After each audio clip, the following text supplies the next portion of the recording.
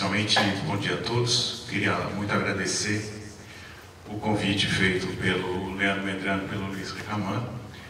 Agradecer também ao Hugo Segawa e agradecer ao conjunto dos professores aqui presentes, a Ana Lana, a professora Maria Ângela, por essa oportunidade de conversar e debater sobre a obra do arquiteto Lama Vartigas.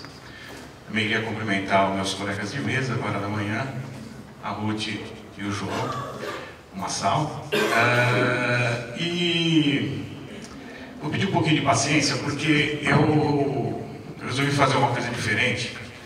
Eu fazer uma coisa que eu não faço normalmente, que é ler um texto. Geralmente eu falo uh, sem, sem ler. E também vou utilizar, não vou utilizar as imagens, uh, que normalmente são importantes para nós pensarmos a obra de um arquiteto. Mas, a partir das colocações do Hugo, acho que a minha opção é, um, é, é interessante.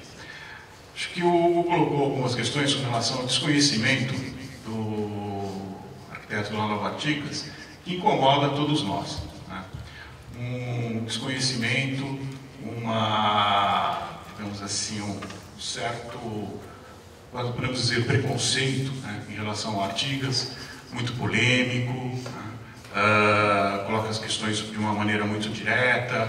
Sempre a, a citação ao Artigas ela vem acompanhada de uma certa prevenção com relação ao próprio arquiteto.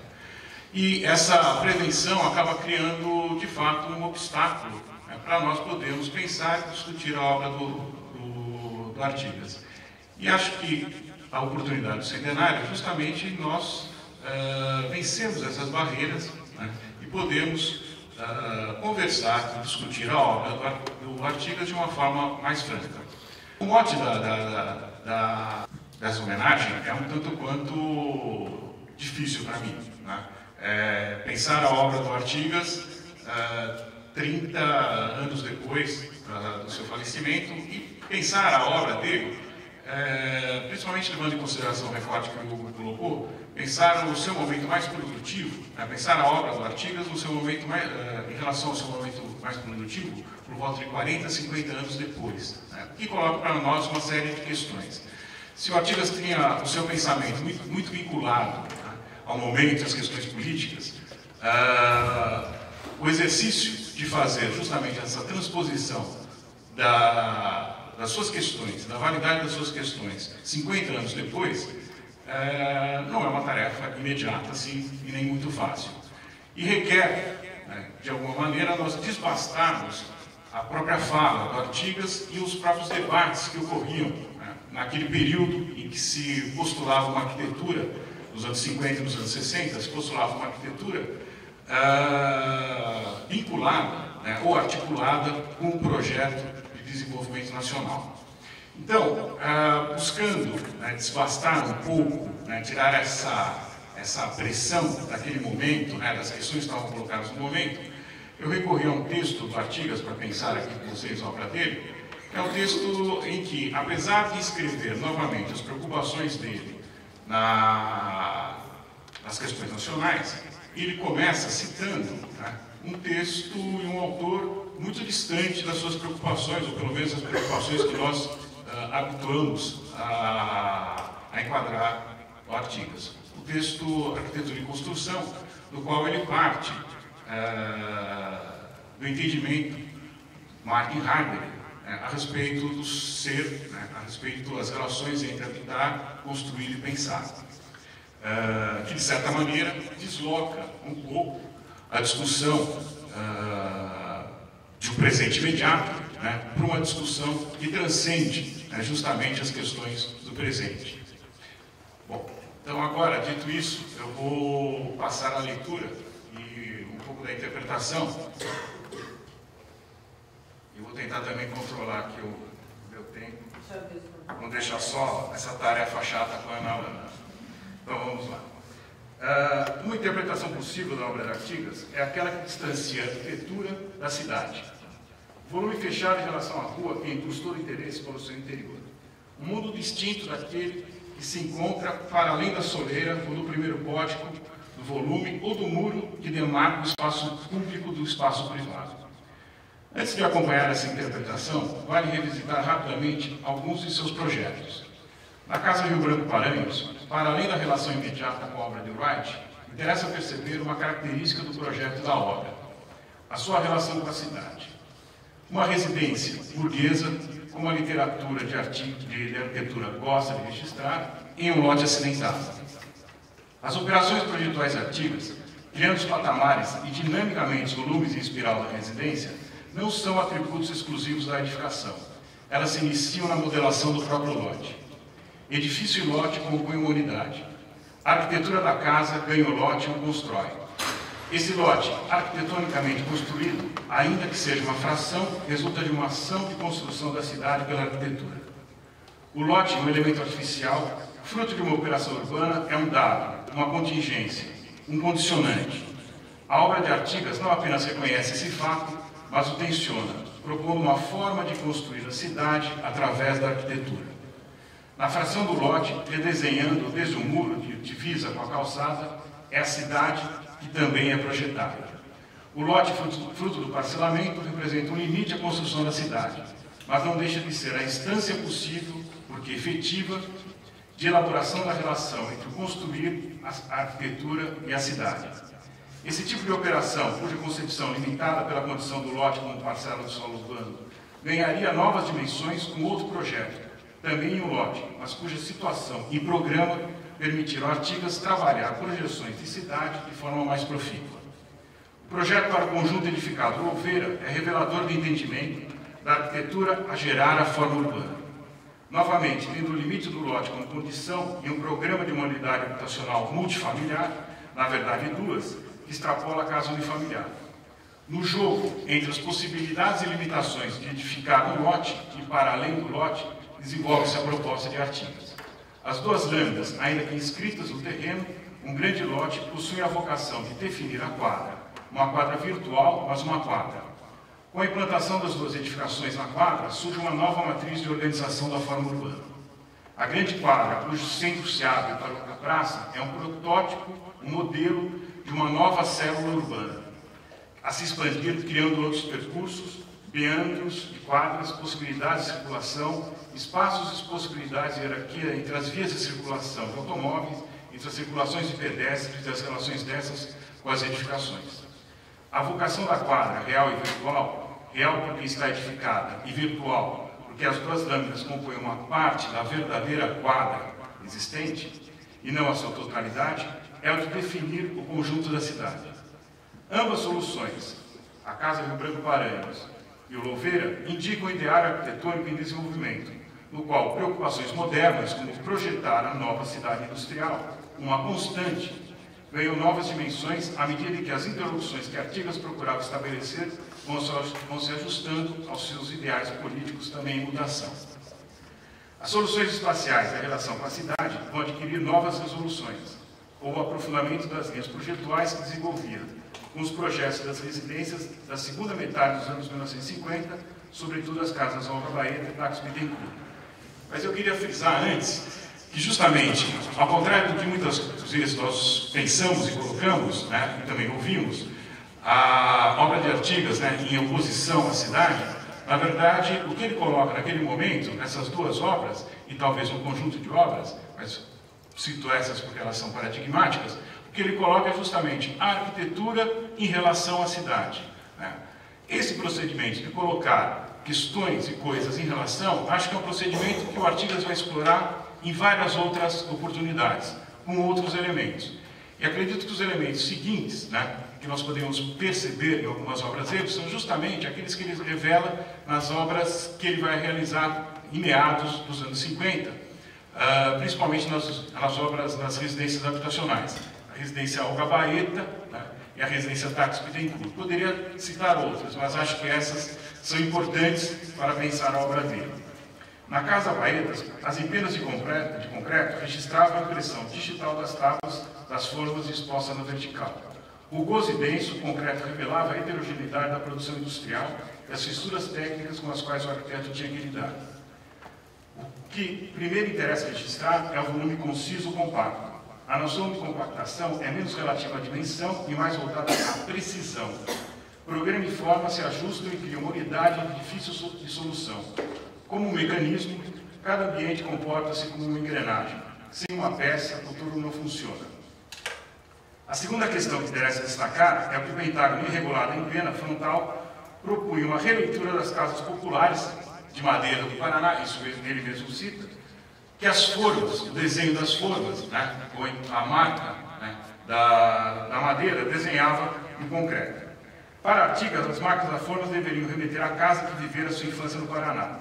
Ao trazer uma referência de um circuito cultural retirado da infância, mas cujos exemplares arquitetônicos, naquele momento, novamente, né, o procedimento que o Artigas uh, realiza, da mesma maneira que lá ele colocava na, nas, nas obras anteriores, colocava em relação arquitetura e cidade, aqui ele coloca em relação o centro com a periferia.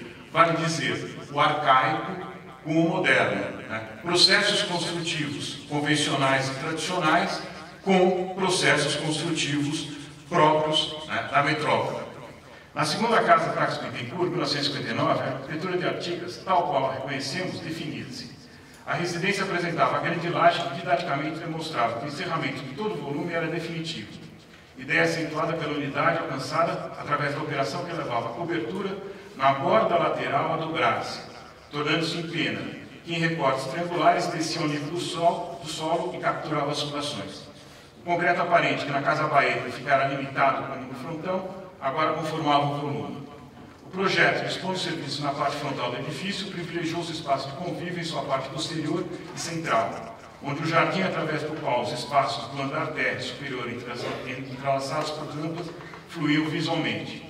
Com sua organização em a Praça Jardim, a casa era uma pequena cidade funcional, mas, sobretudo, ideal, um ambiente de formação. Ao mesmo tempo que Artigas uh, busca né, incorpora novas relações, ele retrabalha as relações anteriores. Uh, a sua especialidade centrada nos espaços coletivos indicava a arquitetura como lugar de formação um sujeito novo, que deveria ser formado através do convívio e da sociabilidade. Ou seja, o privilégio dos espaços coletivos em detrimento dos espaços individuais é um processo que vai se acentuando na obra do Artigas e que vai influenciar uma série de arquitetos naquele momento. Novamente, é um outro procedimento que vai se assentando junto com os demais. A casa formadora dos sujeitos, por um lado, dinamiza a vida interior, por outro, manifestava uma forte relação com a rua. O muro frontal de pedras, ao dobrar-se, conduzia diretamente os indivíduos à grande espacialidade interior. Há uma relação dinâmica, eu gostaria de dizer dialética, entre interior e exterior, da vida privada com a pública, e não deixa de ser uma relação da arquitetura com a cidade. Novamente, o lote é o limite, mas o lote não impede a relação. Relação é a condição chave. O volume autocentrado não impõe impedimento à relação.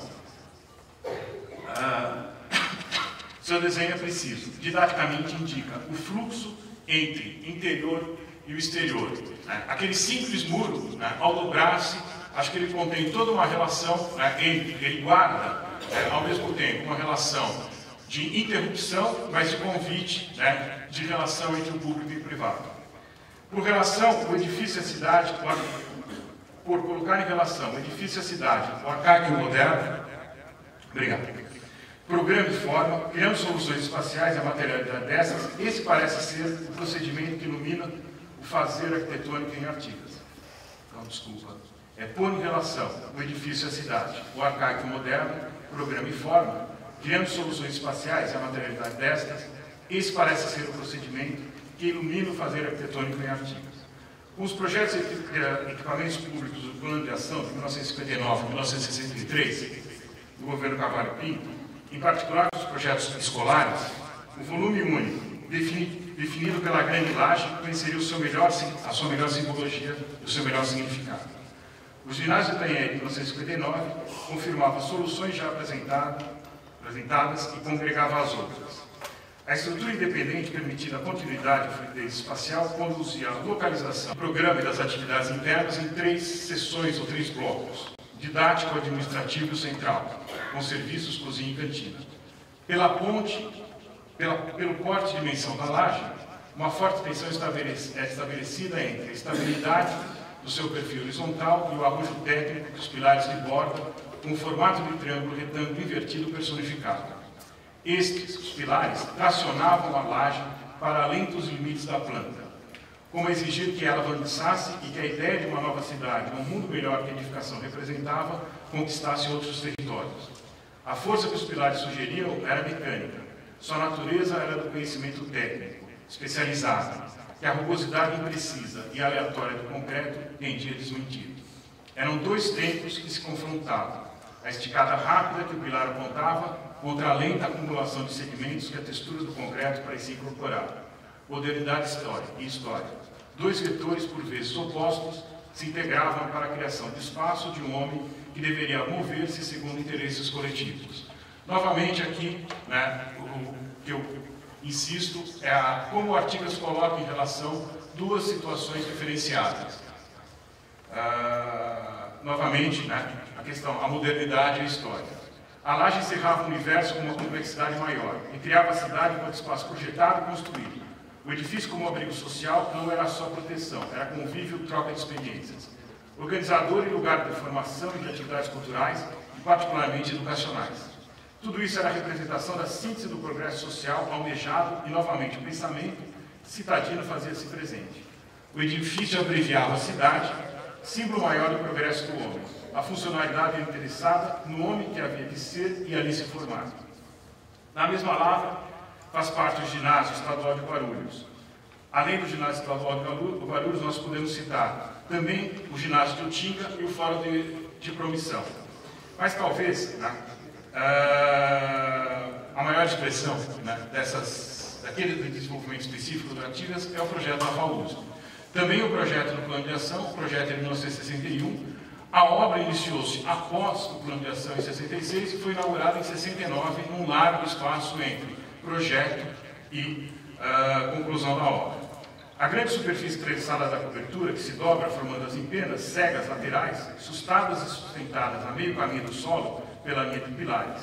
O ponto médio do pilar entre a parede, empena, que descaía e a fundação que subia, traz à luz o enlace entre a infraestrutura e a superestrutura, essa ideia da fundação que sobe, né, ou da, da, estrutura que captura a fundação e vice-versa, eu, eu obtive né, essa, essa, essa formulação, não, não a partir da minha reflexão, mas a partir de uma entrevista que eu fiz com o Cascaldi, que foi o autor né, da, da, obra com Artigas, em que o, o, o Cascaldi ele coloca que era uma ideia né, deles, né, justamente fazer essa ligação como se o bloco né, de fundação ele escapasse da terra, ele brotasse da terra e capturasse justamente a, a estrutura, a superestrutura.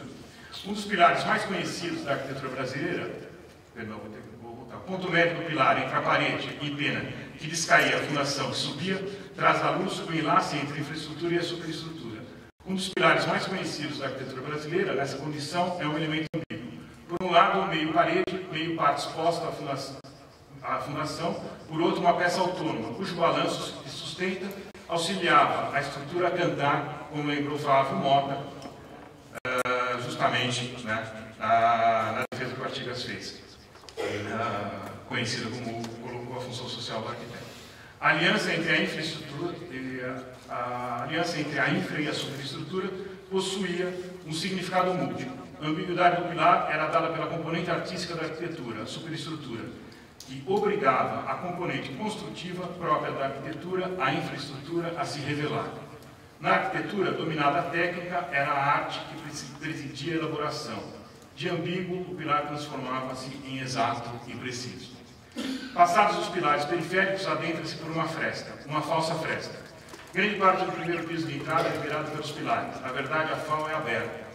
A escavação do volume criando um jogo de planos sombreados pela empena da fachada estabelece as barreiras, ou melhor, marca as divisas entre o exterior e o interior. A sensação de uma passagem ritualística para o interior do edifício ocorre quando já se adentrou. É o complexo espacial do grande saguão, salão, do salão caramelo, do fosso do anfiteatro das rampas, amplamente iluminado através da grelha zenital, que de forma paradoxal preenche toda a percepção, inibindo o exterior, independente da abertura ao nível do olhar. A grelha possibilitou a manutenção da tipologia da caixa, dessa grande estrutura. E a iluminação cenital é exemplo do que já propuseram parcialmente na escola de Guarulhos, concedeu espaço uma luminosidade que o uso público, a ideia de transparência do saber e das relações sociais ordenava. O que nascia entre as empenas e, a, e sob a grelha luminosa era a imagem da cidade, ou melhor, de uma nova cidade. O pensamento cidadino ganhava sua expressão maior. A cidade projetada pressupunha o convívio novamente público, entendido como uma operação sadia. Aqui o respeito entre os homens e os desses, e desses com a cidade era imaginado como possível, pelo objetivo comum a que o edifício deveria dar vazão. Centro de produção e transmissão do saber. No edifício deveria ser operada a troca, a transação do conhecimento. Os percursos cruzados e somados, somados que as rampas ofereciam são a materialização das relações socialmente francas. A promenade arquitetural não é um passeio desinteressado, mas sim ativo, lugar de, informação, de informações, e esta encontrava seu espaço privilegiado próximo à cúpula dos estúdios de projeto. A arquitetura com significado social é também uma arquitetura com sentido citadino, mesmo que nesse caso a cidade estivesse de fato distante do edifício, no caso do campus da USP, com a, seu afastamento em relação à cidade. Reforçando seu procedimento arquitetônico, os projetos de plano de ação, com outros do período, colocavam em relação um coletivo urbano com um projeto social com edificação. Os projetos de Artigas, ao adquirir definitivamente uma dimensão de uso social, colocam em relação o projeto de sociedade, o projeto de cidade e o projeto de edificação. Esta unidade, articulada aos outros procedimentos, estruturou um conteúdo político à arquitetura e uma série de arquitetos e de uma série de arquitetos daquele período, interligados sob o rótulo de Escola Paulista. A arquitetura resultante do conjunto de procedimentos deveria representar a nação em desenvolvimento, incorporando a tarefa de auxiliar o desenvolvimento do setor específico ao qual a arquitetura se ligava, da construção civil. Mas, evidentemente, a força e a forma com que as, as relações eram articuladas em termos arquitetônicos e a representação material que a arquitetura integra tornavam complexas e dinâmicas a representação, sendo a questão da formação uma dessas questões complexas que emergiam da obra do Artigas. O golpe ditatorial de 1964, pelas opções políticas antigas, delinearia ou, via, ou viria a acentuar o entendimento da relação entre projeto de sociedade projeto arquitetônico como ação política e o projeto arquitetônico.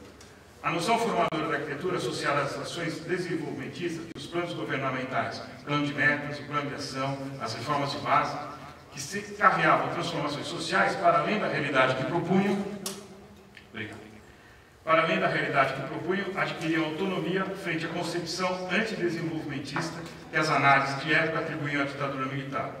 Com o golpe, a arquitetura de Artigas não representava mais a nação em desenvolvimento, mas a nação que fora subtraída pelo mesmo golpe militar.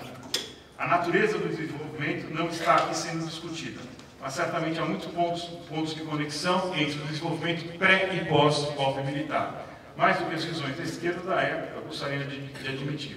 Mas esse não é o nosso foco. A autonomia da arquitetura, ou melhor, a autonomia da arquitetura como forma de ação política, logrou seu apogeu justamente nessa ideia da arquitetura do Artigas representar não a, a, a nação em desenvolvimento, mas aquela que havia sido subtraída pelo golpe militar. As obras de Artigas, a sua espacialidade, foi reinterpretada em grande medida como em oposição à realidade do golpe realidade que subjugava a sociedade e roubava sua expressão. A arquitetura de Artigas passou a ser o locus de uma realidade democrática em oposição à realidade da opressão. Esta reprimia as relações sociais que davam substrato às relações arquitetônicas que Artigas desenvolvera. Todas as soluções arquitetônicas que favoreciam experiências formadoras e de convívio foram tensionadas ao limite, para se transformar em dispositivos de transformação de valores e construção de um novo sujeito de uma outra sociedade em oposição à realidade golpe. Essa formulação, esse entendimento, nunca formalizado explicitamente, de uma arquitetura em oposição à realidade, gerou um deslizamento de significados, conformando uma leitura de uma arquitetura desinteressada pela cidade, ou que se fechava em relação à cidade, mas na verdade se fechava em relação à realidade do golpe. Nesse caso, as antenas cegas, os volumes, os volumes cerrados, os muros, favoreceram essa leitura. Todas as soluções que levavam a cidade à obra arquitetônica e vice-versa foram esmaecidas, frente à ideia de uma arquitetura de representação de uma realidade anterior ao do golpe, essencialmente de formação em oposição à realidade social vivida, à realidade do golpe. Artigas, no quadro das disputas políticas do final dos anos 60, que se desenrolavam no interior da categoria da própria FAO, permitiu e incentivou a exacerbação, exacerbação do fazer político através do projeto arquitetônico. Mas, ao mesmo tempo que incentivou a dimensão política do projeto arquitetônico, como na aula inaugural de 67, que deu origem ao texto do desenho, onde seu significado transita, o significado do desenho transita em direção à noção de desígnio e que reforçava a visão de momento da arquitetura, não apenas a sua, mas da arquitetura moderna em geral, dois anos depois, em 1969, escreveu o texto Arquitetura e Construção. Nele, ciente ou não da falsa contraposição entre arquitetura e cidade, que o tensionamento de suas posições políticas acarretava, recolocou o fazer arquitetônico a partir da casa em relação à cidade. Para tanto, utilizava como referência o célebre texto de Heidegger, Construir, Habitar, Pensar, de 1951, mas conhecido a partir de 1954. Nele, o filósofo alemão buscava estabelecer, a partir do estudo semântico das palavras, as ligações entre o ser e o habitar. Fazia-o informando. As páginas que se seguem são uma tentativa de pensar o que significa habitar e construir. Este pensar construir não pretende encontrar teorias relativas à construção e nem prescrever regras à construção. Este ensaio de pensamento não representa de modo algum construir a partir da arquitetura e das técnicas de construção. Investiga bem ao contrário construir para reconduzi-lo ao âmbito ao âmbito a que pertence, aquilo que é. A primeira questão que vem à mente é por que um texto declaradamente não arquitetônico, no qual o que é ser é a pergunta manifesta, alicerçaria o pensamento de Artigas sobre a unidade entre a casa e a cidade.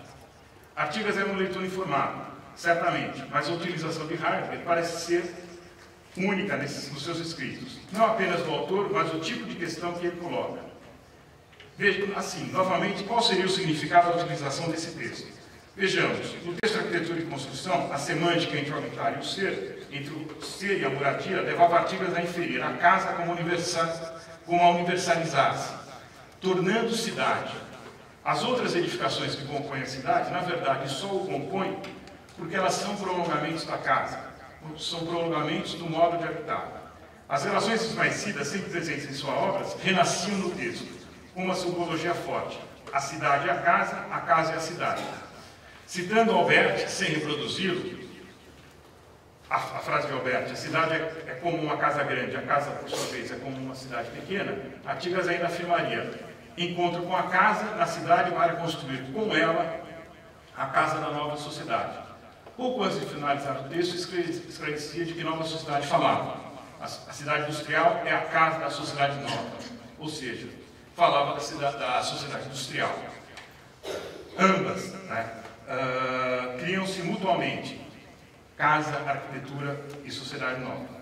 No calor da hora, ou melhor, no calor da década de 60, a urgência por transformações e definições guiava o debate político e alimentava o embate político de momento.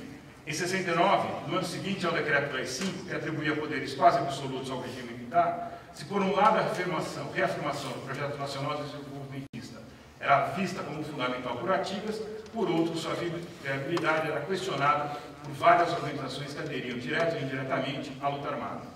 No texto, contra essa postura da inviabilidade, afirmava serem grandes os obstáculos, a ditadura militar, para desenvolver plenamente a criatividade. Entretanto, a conclusão era precisa mas importante é a atitude. Atitude integrada ao fazer arquitetônico, com a digressão da casa-cidade feita com criatividade de carro. Assim, peço só mais dois minutos para concluir. Assim, ainda que de forma poética, em um primeiro momento, parece que Artigas utilizou o ensaio Heidegger para fundamentalmente defender uma posição que, na verdade, já havia analisada em outros momentos, a de defesa da orientação desenvolvimentista, que interpretava o golpe como um obstáculo que seria superado, as forças políticas que tinham sustentado as políticas desenvolvimentistas para Artigas, a burguesia nacional, o proletariado, setores avançados, da classe média e mesmo das forças armadas, não haviam se afastado dos seus ideais. Os obstáculos criados pelo imperialismo, setores reacionários das oligarquias rurais e exportadoras eram grandes, mas a atitude correta devia ser preservada. Apesar de grandes, esses obstáculos não podiam impedir o desenvolvimento histórico. Ainda que o arquiteto devesse continuar fazendo arquitetura e esse fazer fosse o meio da atuação política do arquiteto, onde ficam onde ficavam a arquitetura e a cidade nesse enredo?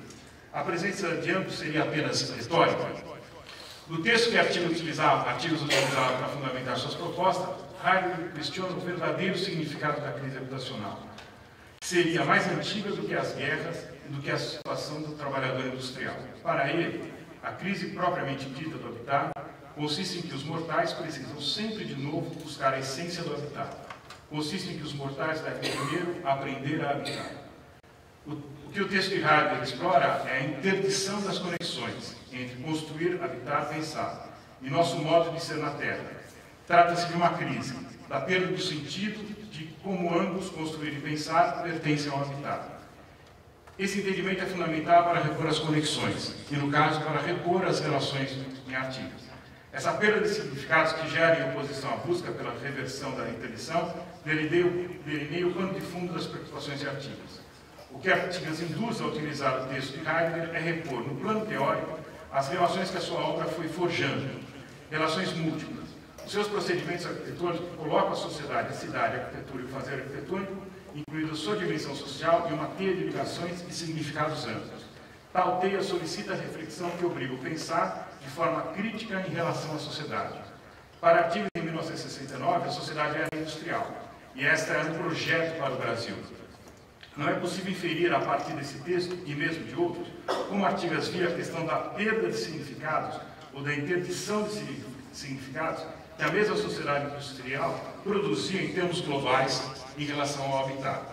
De forma consciente ou não, respondendo a um problema que as suas próprias posições geravam, de afastamento da obra arquitetônica da cidade, ou respondendo a uma crise maior da arquitetura, Artigas procurava repor ou postular em uma outra chave, a da recomposição dos significados, e as várias relações que a sua obra lucrou, mas tendiam a perder, a necessidade de alinhar a arquitetura no texto, a casa, a cidade e um projeto para além da arquitetura, mas que não busca seu significado exclusivamente, exclusivamente em um tempo imediato. Ou seja, de certa maneira, o texto do Artigas se descola, coloca a questão sempre do relacionamento com a realidade, mas ele se descola também da realidade imediata. Certamente não é uh, as ideias de Artigas, que antes tinham um sentido maior de discutir à luz do estado atual de desenvolvimento das cidades brasileiras, especialmente a cidade de São Paulo, independente da força e da beleza de suas obras, por incrível que pareça, não são arquitetônicas estrito senso. Perdão, vou repetir aqui. Ah, o, há muita diferença entre a relação, ah, entre o momento em que o Artigas produziu aqueles textos e produziu a, a, a sua obra, e o momento atual. Uh, como eu disse, o projeto de uma sociedade industrial, né, a sociedade industrial naquele momento no Brasil era um projeto. Projeto que hoje né, encontra-se de uma maneira completamente uh, reconfigurada.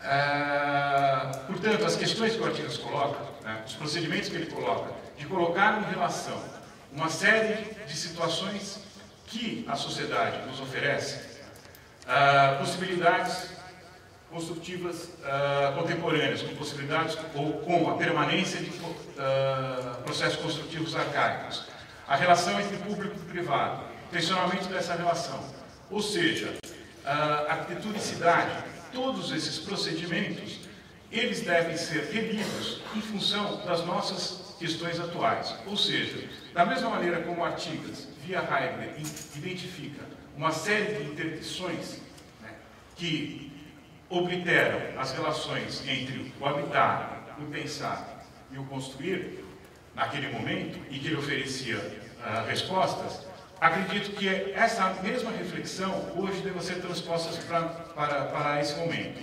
Assim, uh, o que eu busco no Artigas, menos do que soluções estrito senso arquitetônicas, são soluções que busquem restabelecer as questões que ele, Artigas, pensava para produzir uma arquitetura ativa. Obrigado.